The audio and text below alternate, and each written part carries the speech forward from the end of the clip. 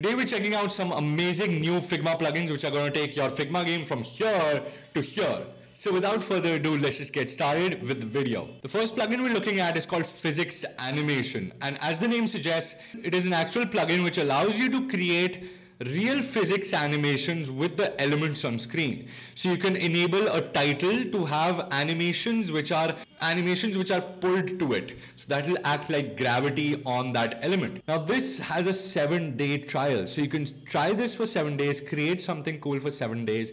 And if you wanted to create it for your actual projects or for a long term, you can take their premium subscription. I think this is great for web developers and designers out there who want to create something crazy in Figma and then also export it. This tool also allows you to export your animations in the form of GIF, WebM, as well as SVG animation. The only thing missing here might be JSON, so maybe they should look into it. Now there's this new series called the Ruri series. They have Ruri Gradiator, Ruri Splines. They also have something called Ruri Curves and Ruri Artwork Generator. So in general, the series creates creative assets background images and helps you create cool stuff for your designs. For example, my favorite is Ruri Gradiator, which allows me to cr- create incredible as well as unique gradients inside Figma, which is not possible in such a quick and easy way. Now here it is very easy to just adjust everything in this area. You can change it from a linear to a radial gradient, so that also works. You can even change it from a circle to a rectangle. Apart from that, you can increase or decrease the number of grids. You can increase or decrease the amount of space the gradient covers like this. Oh, it looks so satisfying. Apart from that, you can change the colors of these from here as well with this color picker. You can even use this to pick colors from your actual project. And for output, you have four options 1x, 2x, 3x, and 4x. So you can use it for even large scale websites. You can export it as a PNG. This will allow you to use it as a background image on websites, etc. I am absolutely in love with the way it works and the way I can just quickly export it. Apart from this, they have something called Ruri Artwork Generator, which is a next level for artwork. Now, this allows you to generate some really cool custom artwork from right here for example, I have two colors. I can add the fill. I can change from cube to rainbow, whatever I like. And I can even adjust the amount of randomness there is. So there's no limits to this tool basically. So if I generate, as you can see, this has generated these cool artworks for me right here and I can even change the width, the height, the number of columns. Another cool series on Figma I'm love it is called Supa series. It's Supa Gradient and Supa Palette, which take the way you use, generate, and store colors to the next level. Supa Gradient, as you can see, allows you to have this little plugin right here. If I say Explore Collection, they have a large set of collection based on different colors. So I can add any color and then I can update whatever shapes or images I want here. I can even adjust anything here in this tool and everything will happen live on the left. I can change the angle, I can change the number of gradient steps that that is something similar to what you'll find in Figma already. However, here you can even import colors from your design library or design system, as well as save custom gradients based on the style, etc. with different styles as well. So for example, I really like this one in radial. I'll say pink radial and there you go create a style and it's on top here like a little story. Now Supa Palette went viral on various platforms.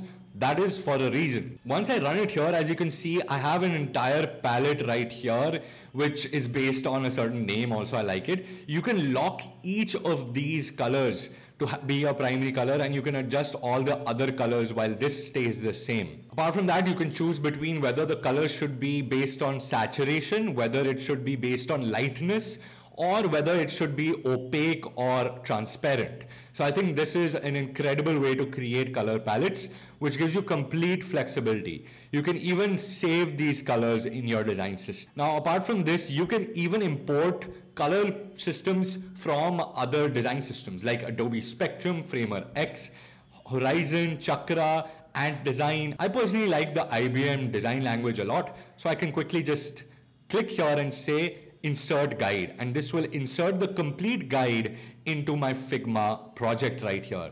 and then you can go ahead and edit these on your own. Apart from that, whatever palettes you've generated will be saved here so that you can access them later on or you can share it with other people by saying import palette or you can just export it by clicking export palette and then you can export it as a JSON and your entire team can then have access to this palette. I think one of the best color tools that there'll ever be on Figma. I don't think there's any space for improvement. Now this little plugin does a very big task. It converts your Figma presentations into an actual PPT. Now I want to know in the comments below how many of you have created presentations in Figma. It's crazy how Figma can be an all-in-one tool. But the only problem is whenever you create something in Figma, you can't really export it to a PPT presentation. So here you can quickly add a slide with deck and you can of course remove slides, add slides and organize them by order.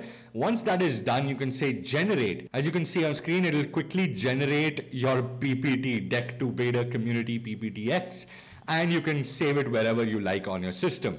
So this is a really helpful plugin, very tiny but helpful plugin to convert your Figma uh, presentations to an actual PPT which can be shared with everyone. Now this is another amazing creator on Figma going by Johan and his accidental great font pairings is a plugin you can't miss. I also have a hard time figuring out the best fonts which will go together well on a website or app. This does it for you. So you can select whether you want this to be made on a dark surface or a light surface, so dark mode, light mode support, as well as once you create something, it appears here like a complete guide. So you have a random font which goes well with another great font, which will work on your website or anyone else's website.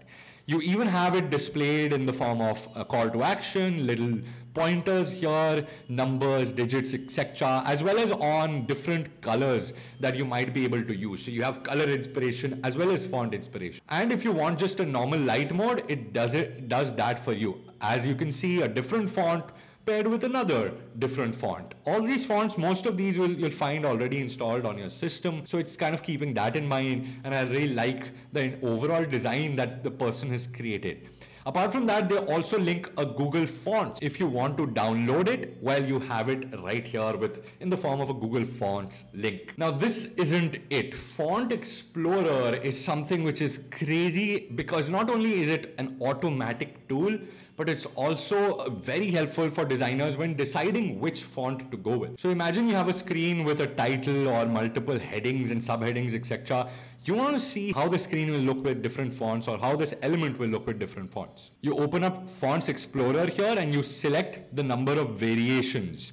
Before you do that, you have to change whichever uh, text box you have here. You just have to change the name to change me. That's the hashtag you want to apply to whichever elements you want to change. Once that is done, you just select the frames you want and you choose the number of variations. I want 10 variations for now and I want a sans serif type fonts only. So I'll go ahead and say generate. And as you can see, it, it generates the same artboard with all these different fonts. And what's special is that it titles each artboard with the name of that font. So you don't have to click on this and then figure out which one there is. It's all here in the attributes itself.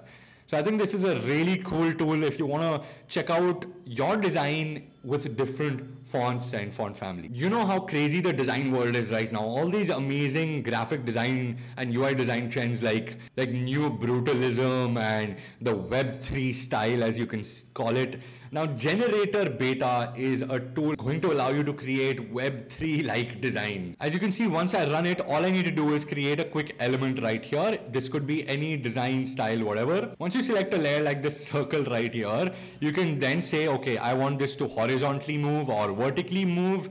Uh, you can have it move in a certain direction in a certain amount like this. You can scale the, you can change the amount of scaling I would need to do like this. You can randomize things as well. You can even increase or decrease the amount of repetitions you have right here as well. So I think this is happening in real time and it looks cool just the way it is. Randomize and sinusoidal, whatever physics terms that is. You can upgrade to the pro version right now for 30% off. I suggest get it if you gonna use this often Otherwise, this is really cool as a free version as well. I think overall, if you just change the style of one thing, you will see how quickly the entire design also kind of changes with it. So I think unlimited possibilities just with one simple tool like this. Am I the only one who faces this problem? 0.5 difference between my elements where I have to manually change it from the actual properties window. That's crazy. Now Pixel Cleaner is going to help you with that a lot. As you can see, if I open Pixel Cleaner and have two elements, 0.6 centimeters of difference, uh-oh, that's a problem. Well, this thing is going to just quickly clean up for you. And it's not about just two blocks or two cards. It's about fonts, typography, shapes. Wherever you think there's going to be a 0.2 difference in any property, this is going to help you out. So you can change, you can either select all or you can just select some elements you want to be fixed. Other things are just as they are. Just say start pixel clean and within a few seconds, everything will be normal. As you can see, it was 13.4, now it's just 13. That is exactly what I'm looking for. Go ahead and start experimenting with this, kind of see what all it can fix for you also. Now, Easy Translator is great for people who are designing for multiple languages or who just want to make a design which will scale up with languages. Easy Translator will just help you choose your artboards and quickly change the language there is in it. So it just picks up the text that is inside those artboards and then converts the language and just places it right there. And the best part about this is that it auto detects languages as well. I hope you enjoyed this video. If you did, the thumbs up button is free to press and it motivates me a lot. I also come here every single week. If I miss, just imagine I'm doing something crazy. I'll see you next week, same time, same place. Until next time, take care of yourself. God bless.